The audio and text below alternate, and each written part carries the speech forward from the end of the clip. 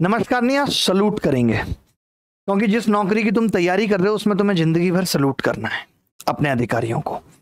हालात बेरोजगारी की यह है कि हर एक पीएचडी करने से लेकर के लोग, कहीं भी नौकरी का पता चलता है, इतनी भगदड़ मच जाती है कि रेलिंग टूट जाती है। आपने गुजरात का एक वीडियो देखा होगा।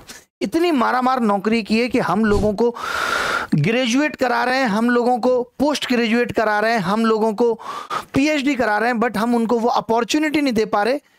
जिससे कि वो उसमें फिट बैठ सकें और जो काम करने लायक हैं, उस काम को कर सकें।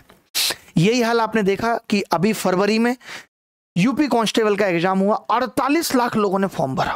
बहुत बड़ा नंबर होता है 48 लाख। और उसके बाद हालत ये हुई कि पेपर लीक हो गया। जो बच्चों ने इतने अच्छे से तैयारी की थी, इतने सपने संजोए थे कि हम भी वर्दी पहनेंगे और वो सपना अधूरा रह गया।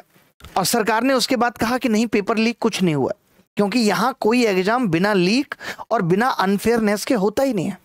जब बहुत प्रेशर बनाया गया, तमाम टीचर और विद्यार्थियों ने आंदोलन किए तो बाबा को लगा कि अब तो गड़बड़ हो रही है, चुनाव भी है, जून में दिक्कत हो जाएगी तो वो एग्ज़ाम कैंसिल कर दिया गया। और बताया नहीं गया कि एग्ज़ाम कब होगा। यानी एक एग्ज़ाम अगर कैंसिल हो जाए, जो सरकार की नाकामी को दिखाता है तो उसके बाद सरकार को तुरंत एक नोटिस जारी करना चाहिए कि हम ये एग्ज़ाम पंद्रह दिन के भीतर करा लेंगे। जहाँ सरकार एक तरफ़ ये कहती है कि हम तो कोचिंग खत्म करना चाहते हैं। मुझे लगता है कि सरकार कोचिंग को बढ़ावा देना चाहती है। बच्चे ने कोचिंग ली थी फ़ीस दी थी कहीं ना कहीं, लेकिन क्या हुआ? अगर ये एग्ज़ाम तुरंत करा लेते तो उसको दोबारा कोचिंग लेने की ज़रूरत नहीं पड़ती। बट सरकार कहती है, नहीं कोचिंग वाले भी तो फले फूलेंगे। सरकार ने कहा, हम आराम से वक्त लेंगे। कुछ दिन बच्चों को इसी भ्रम में रखेंगे कि एग्ज़ाम होगा कि नहीं होगा। होगा तो कब होगा? और इसी दौर में इन्होंने मार्च, अप्रैल, मई, जून सब निकाल दिए।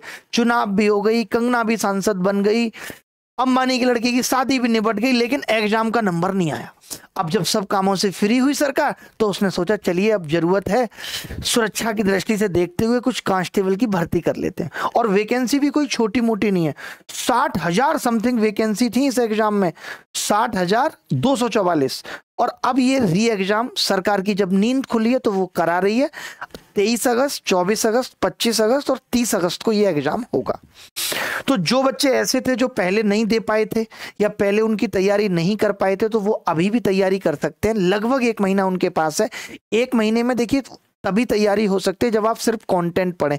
आप सोच रहे हैं कि कोई लाइव आके आपको तैयारी करा देगा, नहीं हो पाएगा। अगर आप तैयारी करना चाहते हैं तो हमने अभिनय मैस ऐप पे जो ये कांस्टेबल का बैच था, इसको पूरा एडिट करा करके, एडिट मतलब सारी बातें हटवा दी, जितनी भी बातें टीचर क्लास में बोलता है, सिर्फ़ कंटेंट कंटेंट कम से कम घंटे का एक कोर्स बनाया है। आप इस कोर्स से इस एक महीने में तैयारी तो मैं नहीं कहूँगा उतनी अच्छी कर पाओगे, लेकिन हाँ ये है कि रिवीजन पूरा कर सकते हो। तो आप रिवीजन कर सकते हो इस बैच में। और बहुत मामूली सी इस बैच की फ़ीस रखी है। फिर भी आपको लगता है कि आपके पास उतने भी पैसे नहीं है तो आप हमारे निन्यानवे, इकहत्तर, इक्यावन, बाईस, तीस नंबर पे nine nine seven one five one two two three zero पे कॉल करके बता सकते हो, ताकि आपकी फ़ीस कम हो जाए। वैसे हम कोशिश कर रहे हैं कि हम फ़ीस बिल्कुल ही कम कर दें। हम ऐसा भी कर लेते हैं कि इतने सारे बच्चे जब कॉल करेंगे तो हमारे लिए भी मुश्किल होगी, इसलिए हमने हेल्प पचास कोड भी दे दिया हेल्प फिफ्टी जो कि आपकी फ़ीस ऑलरेडी कम हो जाएगी। ठीक है? खत्म सी हो जाएगी। फिर भी अगर ऐसा लगे तो कॉल मैसेज करके मदद मांग लेना और एक महीना अच्छे से तैयारी कर लो। पहले कांस्टेबल बन जाओ। जब कांस्टेबल बनोगे तो तुम्हारे ऊपर जब सब इंस्पेक्टर होगा हेड कांस्टेबल होगा, उसको सलूट मानना पड़ेगा।